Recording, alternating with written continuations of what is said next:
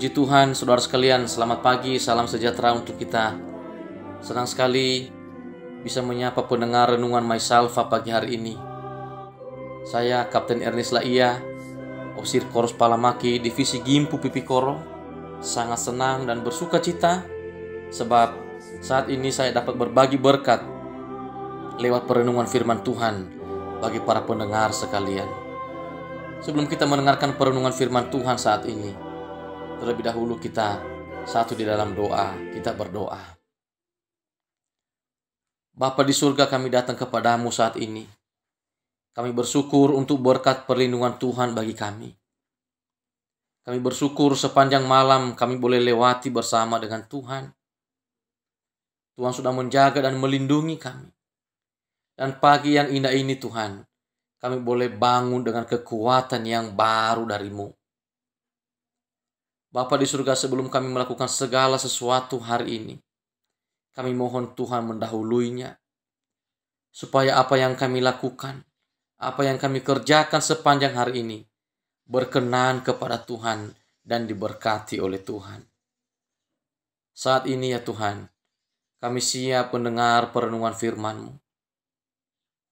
Berkati hambamu yang akan menyampaikannya. Dan berkati para pendengar sekalian. Roh Kudusmu menolong kami untuk memahami dan mengerti kebenaran firman. Ini doa kami Bapa di surga. Dalam nama Tuhan Yesus Kristus, kami berdoa dan mengucap syukur. Amin. Baiklah para pendengar renungan Maisalva, pembacaan firman Tuhan bagi kita pagi hari ini terdapat di dalam 1 Korintus pasal 12 ayatnya yang kelima. 1 Korintus pasal 12 ayatnya yang kelima. Demikianlah firman Tuhan. Dan ada rupa-rupa pelayanan tetapi satu Tuhan. Sekali lagi saya bacakan kepada kita sekalian. Dan ada rupa-rupa pelayanan tetapi satu Tuhan. Judul perenungan kita pagi hari ini adalah Pelayanan bukan hanya di mimbar. Pelayanan bukan hanya di mimbar. Saudara sekalian, para pendengar renungan Maisalva, berbicara tentang kata pelayan, maka itu memiliki arti membantu, mengurus, menyiapkan, atau memberi kenyamanan kepada orang lain sesuai dengan apa yang ia sedang kerjakan. Dengan kata lain, saudara-saudara sekalian, pelayan adalah orang yang melayani. Para pendengar sekalian, menjadi pelayan untuk melayani orang lain bukanlah pekerjaan yang gampang. Ada banyak risiko yang harus ditanggung. Ada banyak risiko yang harus diemban sebagai seorang pelayan. Sebab melayani itu butuh pengorbanan, saudara sekalian. Melayani itu butuh tanggung jawab. Melayani itu butuh ketulusan. Melayani itu harus dikerjakan tanpa beban. Melayani itu harus berani bayar harga saudara-saudara sekalian. Apalagi kalau pelayanan itu sangat erat hubungannya dengan pekerjaan Tuhan. Pendengar sekalian, kita perjanjian baru memang tidak menentukan bahwa tugas pelayan hanya untuk diperuntukkan bagi seorang pendeta atau yang kita kenal dalam gereja kita sebagai seorang opsir. Tetapi sesungguhnya saudara-saudara sekalian, apa pun status kita saat ini, baik itu kita seorang olahragawan, kita seorang mahasiswa, pelajar, kita seorang pembantu rumah tangga, kita seorang ahli mesin, kita seorang perawat atau seorang dokter, kita seorang penjaga toko, pegawai bank, kita seorang supir atau kita seorang penjaga parkir saudara-saudara sekalian. Bahkan apa pun profesi kita, kita dapat melayani Tuhan. Mungkin kita bertanya dalam hati kita saat ini saudara-saudara sekalian, apakah layak saya melayani Tuhan dengan profesi yang sedang saya kerjakan saat ini? para pendengar sekalian, percayalah bahwa Tuhan bisa memakai siapa saja dan dari latar belakang apa saja untuk bisa melayani Dia. Itu sebabnya, saudara-saudara sekalian, sebuah pelayanan adalah sikap yang tidak dapat dibatasi pada suatu tempat. Pelayanan adalah sikap yang tidak dapat dibatasi pada suatu waktu. Namun di mana saja dan kapan saja kita dapat melayani. Karena pelayanan adalah sebuah tindakan, bukan hanya sekedar teori semata. Sehingga pelayanan itu bukan hanya berdiri di belakang mimbar. Para pendengar renungan Maisalva, mari kita ingat bahwa dalam hal melayani, jangan pernah kita salah motivasi. Sebab kalau kita salah motivasi, kalau ini yang terjadi dalam pelayanan kita, maka pelayanan itu tidak akan menjadi berkat. Dan kita yang sedang melayani juga tidak akan diberkati oleh Tuhan.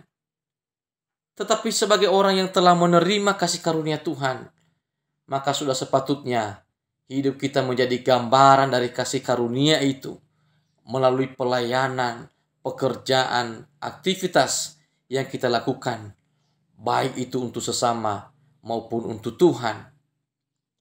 Artinya kitalah yang menjadi gambaran kasih karunia itu lewat tutur kata kita, sikap bahkan tindakan kita di mana pun kita berada dan melayani.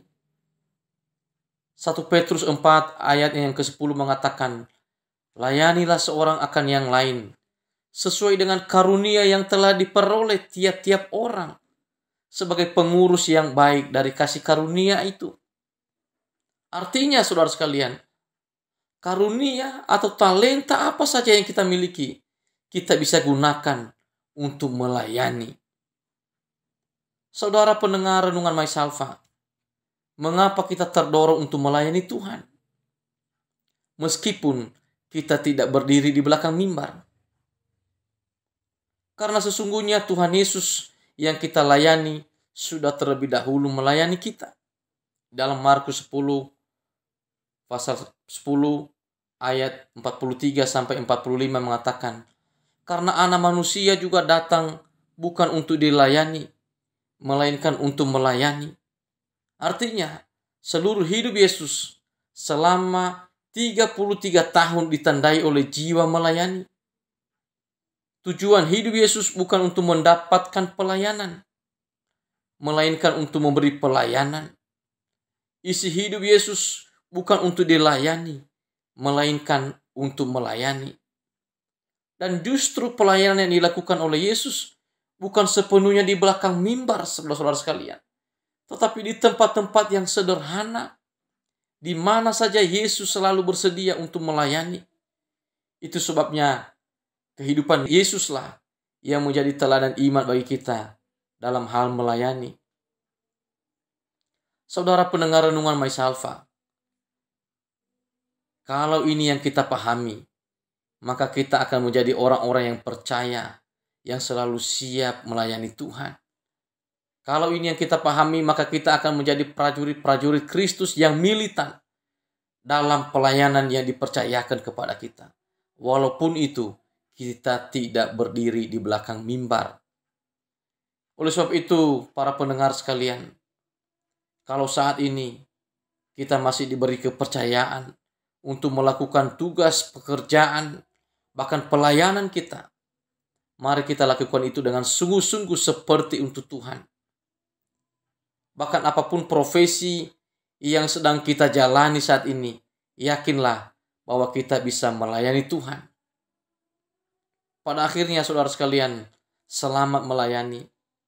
Setialah dalam melayani dan jadilah berkat dalam pelayanan kita. Meskipun kita tidak berdiri di belakang mimbar. Tuhan Yesus memberkati kita sekalian. Kita berdoa. Terima kasih Bapak di surga untuk kebenaran firman-Mu yang telah kami dengar bersama. Firman-Mu sudah memberkati kami. Firman-Mu sudah meneguhkan kami untuk tetap setia melayani Engkau dalam hidup ini. Berkatilah para pendengar renungan Maisalva. Berkatilah para pengurus yang bertanggung jawab dalam pekerjaan yang mulia ini. Dan berkatilah kami semua. Sepanjang hari ini ya Tuhan, kami serahkan hidup kami ke dalam tangan kasih-Mu. Tuhan berjalan bersama dengan kami. Kuasamu menjaga dan membentengi kami. Supaya hari ini kami dapat lewati bersama dengan kasih dan anugerah Tuhan. Terima kasih Bapak di surga. Ini doa kami. Ampuni salah dan dosa kami. Sebab doa ini kami persembahkan di dalam nama Tuhan Yesus Kristus. Tuhan dan Juru Selamat kami. Haleluya. Amin.